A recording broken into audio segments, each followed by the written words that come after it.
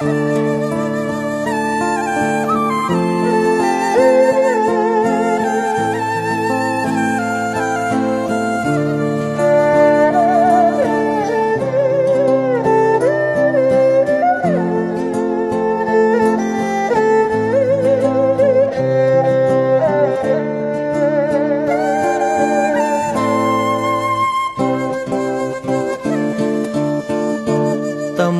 phật là ở trong ta tìm đâu ngày tháng xa hoa vô